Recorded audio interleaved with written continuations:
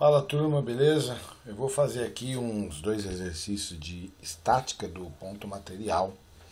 Tá? Então eu gostaria que vocês prestassem bastante atenção para saber fazer isso aqui depois. Então eu vou pegar basicamente essa figura aqui novamente.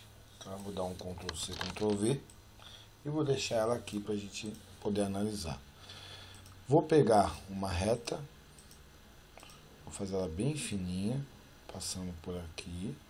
Vou fazer os dois eixos aí, o eixo X e o eixo Y. E vou fazer a outra aqui, ó. Não extrapolando aqui, né?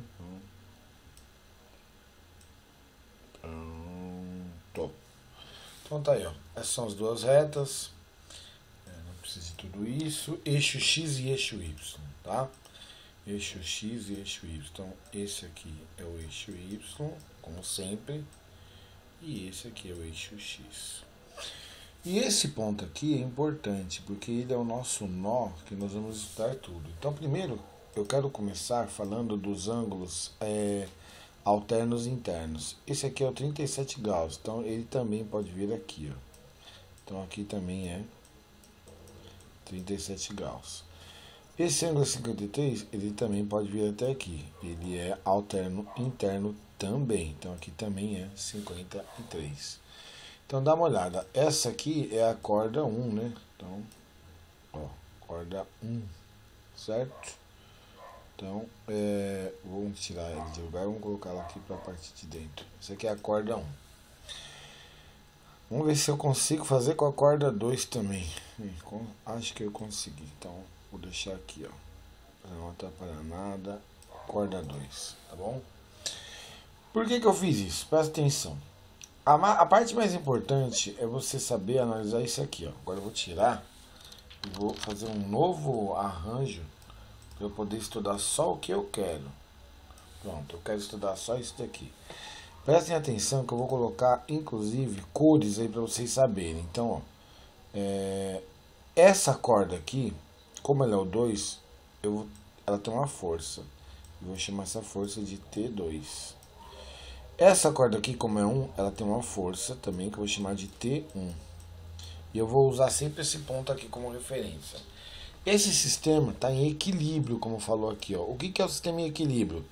Ele está parado. Então quer dizer que esse bloquinho aqui, ele tem um peso. Entendeu? Ele tem um peso para cá. Ele falou que é o seguinte, que na corda 1 a tração é de 300 newtons. Então ele já me deu esse valor aqui, ó. Esse valor aqui é 300 newtons, já foi dado. Esse valor eu não sei, é justamente o que ele quer, a tração na corda 2. Repara o seguinte, se fosse um exercício que eu fosse fazer é, com análise das forças em, na vertical dando zero e as forças horizontais dando zero, eu, ele teria que ter me dado esse peso. Então, eu não preciso do peso. O que, que eu vou fazer? Eu vou até tirar ele, porque eu vou analisar justamente a força T1 em X, a força T2 em X e igualar elas. Então, por exemplo, eu vou pegar aqui uma reta, eu vou representar ela, a, vamos colocar assim, a projeção de T1. Então, a projeção de T1 vem para cá. Ó. Eu vou representar ela pela, por essa cor verde, ó. como se viesse aqui. Ó. Então, aqui é a projeção de T1, que eu sei que vai valer, vamos até colocar aqui, a, o T1 ele é 300, certo? Então isso aqui vai ser quanto? Vai ser o 300 vezes. Ele não projetou com o ângulo desviado? Então é vezes o cosseno de 30 graus, de 37 graus. Que ele me deu, inclusive, o valor, ó, tá aqui, ó. Cosseno de 37 é 0,8. Então o T1 vai ser 300 vezes o 0,8, porque ele já foi dado, entendeu? E aí nós vamos fazer, ó, esse zero com essa vírgula aqui, cancela, ó, esse zero com essa vírgula. Então vai ficar o 30 vezes o 8. Então 3 vezes 8 é 24, com mais um zero vai dar 240. Então tá aqui, ó, 240 newtons, certo? Ele perde a tração na corda 2. Então eu já acabei de achar quanto que vale a tração na corda T1X, tá? Então vamos colocar aqui, ó, T1X. Por que T1x? Porque é a projeção da força T1. Ó. Toda força inclinada, ela vira duas, turma. Ela vira uma TY e uma TX. Por que, que eu não coloquei o TY? Porque ele não me deu o valor do, da massa desse bloquinho. E eu não preciso também. Porque se eu pegar agora outra força, vou pegar até em amarelo, que é uma cor bem forte, né? Colocando assim, ó. Ele vai vir aqui, ó. ó. Então, se eu pegar, ele vai projetar aqui, ó. Então, essa... Ó, verde e amarelo, sem querer, ó, as cores do Brasil. Vamos colocar em preto para os cálculos agora. Quem é esse T2? Ele vem com, com o seno de 53. O T2, quando ele vai para o eixo X, ou seja, quando ele projeta em X, ele projeta com o ângulo desenhado, ele fecha com o ângulo. Então, fecha sem ângulo é seno, com ângulo é cosseno. Então, ele vai ser o T2x vai ser o T2 vezes o cosseno de 53. Esse é o T2x. Tá? Então, vamos colocar ele um pouquinho para cá e vamos colocar aqui, ó, T 2x. Tá? Então aqui vou separar. Tá, então quem é T2x? Vamos lá. T2x vai ser o T2, como a gente falou. Vamos, vamos, vamos calcular ele agora. Vai ser o T2, que eu não sei quem é. Só que vezes o cosseno de 53. E esse eu sei quem é, ó. 0,6. Então eu coloco 0,6 aqui. E não dá para fazer mais nada. Porém, Vamos analisar essa situação. Como essa figura aqui está em equilíbrio, ele está falando o seguinte, olha, as forças que estão para a direita são iguais às forças que estão para a esquerda. As forças que estão para cima são iguais às forças que estão para baixo. Mas eu não quero saber das forças na vertical, eu só quero saber das forças na horizontal. Então eu posso afirmar, nesse momento, que o T1x é igual ao T2x. E aí o T1x eu sei que vale 240. E eu sei que o T2x vale T2 vezes o 0,6. E aí, como eu quero achar o T2, o 0,6 que está multiplicando vai passar dividindo. E aqui já vai dar para a gente a resposta que a gente está procurando. Então tá aí, ó. O T2 é 240 dividido por 0,6. Então vamos fazer essa conta aqui, ó. Coloco 240, coloco 0,6. Como eu quero tirar a vírgula, multiplico aqui em cima e embaixo por 10. Aí aqui vai ficar 2.400 e aqui vai ficar só 6. Porque na hora que eu multiplico 0,6 por 10, eu cancelo aquela vírgula. Bem, agora ficou bem mais fácil a conta. Então, 24 dividido por 6 vai dar 4. Com dois zeros dá 400. Então, a nossa resposta é a alternativa B de bola. Tá aqui, ó, B de bola. Beleza? É, essa conta aqui. Repara, esse exercício aqui tinha ângulos diferentes, agora esse aqui tem ângulos iguais, né, idênticos. Então nós vamos pegar e fazer aí um, um eixo bem fininho, pegando bem no centro aqui desse ponto, certo? E também bem no centro desse, ó, passando no centro dos dois. Pronto. Por quê? É o nosso eixo x e y. E agora eu vou colocar os ângulos.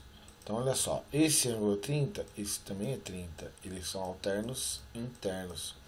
Esse ângulo é 30, esse também é 30. Eles são alternos internos. Vou copiar essa parte aqui, porque agora é essa parte que vai ser objeto do meu estudo. Entendeu? Então, vamos colocar ela aqui, ó. Vamos até dar uma ampliada nela, se possível. Pronto. Dei uma ampliada. Bem, eu vou estudar essa parte. O que, que ele quer? No sistema baixo, o peso P está preso aos fios AB por uma argola, certo? É, os atritos e calcule as estações nos fios AO, que seria esse aqui, e BO, que seria esse aqui. E o peso vale 100 newtons. Então, ele quer as trações, turma. O que, que eu sei? Que o peso desse negocinho aqui vale 100 newtons. E aqui eu começo o meu exercício. Por quê? Porque se está parado, a corda tem o mesmo valor do peso. Então a corda também tem 100 newtons. E aí, olha só o que, que acontece. Se a corda tem 100 newtons e está parado, quer dizer que aqui, ó, toda essa corda também tem o mesmo valor. Então eu posso pegar esse ponto aqui, vou até mudar ele de cor, porque eu quero estudar em cima dele, que é o ponto O, né? E eu estou falando que essa corda tem 100 newtons. Tração tem que ser desenhada, turma, saindo do, do corpo. Então é por isso que eu desenhei duas flechas. Essa primeira flechinha saia do, por, do corpo P e essa flechinha para baixo sai desse ponto preto. Essas forças aqui que eu tenho, vamos usar o verde e amarelo de novo. Ó. Essas forças que eu tenho, elas têm duas projeções. Ela projeta em X e projeta em Y. A que me interessa agora é a que projeta em Y. E elas são iguais. Isso vai nos ajudar a fazer exercício. Então, eu vou chamar essa força aqui de T1 e essa de T2. Só que acontece um fenômeno importante. Quando as cordas que estão fazendo é, o apoio desse peso que está pendurado tiverem o mesmo ângulo, então elas também têm a mesma força. Então eu posso até tirar o T2, né, o 2 e o 1 e falar só que é T. E aí essa outra aqui, eu vou desenhar em azul, porque se fosse ângulo diferente vocês teriam que pensar dessa forma. Eu vou projetar ela aqui em Y. Ah, Pro, mas por que você não está projetando em X? Porque o que eu quero fazer é o seguinte, aqui esse exercício não me dava o peso. Então eu igualei em X. Esse exercício agora me dá o peso, então eu vou igualar em Y. Então eu vou falar o seguinte, olha, essa, esse T aqui, que eu vou até desenhar em azul mesmo, quando ele vai para lá, ele vai sem o ângulo desenhado. Então ele é T seno de 30. Quando esse verdinho vai para lá, ele também vai sem o ângulo. Então quando vai sem ângulo é seno. Então também vai ser T seno de 30.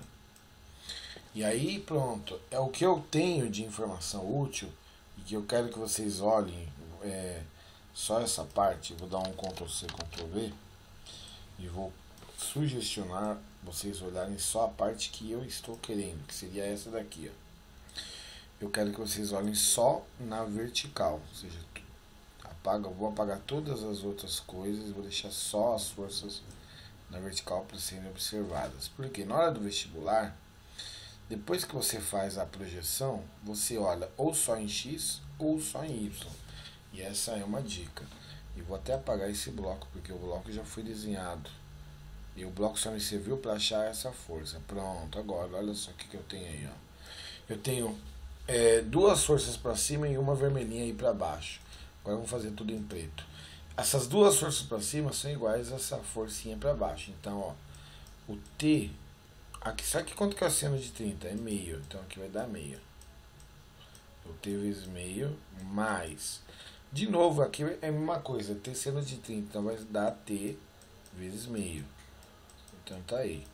Elas são iguais a esse 100. Então tá aqui, ó.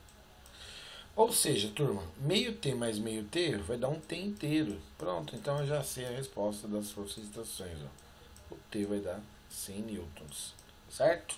Espero que vocês tenham entendido esses dois exercícios aí de estática do corpo, né, do ponto material. Tá bom? Assistam quantas vezes for necessário. E um abraço.